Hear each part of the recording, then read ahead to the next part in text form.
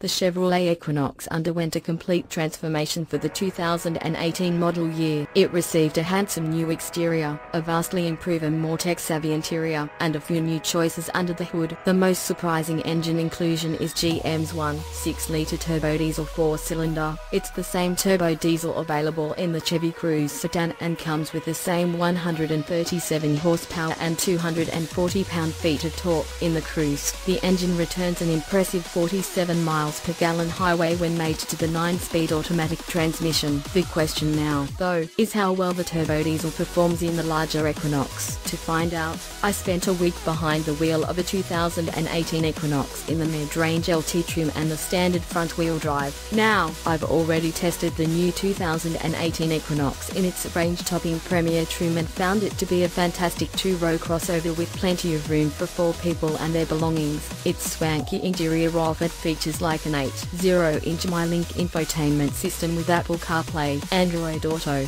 and a 4G LTE Wi-Fi hotspot. Dual-zone climate controls with heated and vented front seats kept me comfortable while its large greenhouse provided great views outside. All told, the Equinox was great, but I still wondered how it would behave with a turbo diesel. Thankfully, I don't have to wonder any longer. Here are my thoughts on the turbo diesel equipped 2018 Chevy Equinox.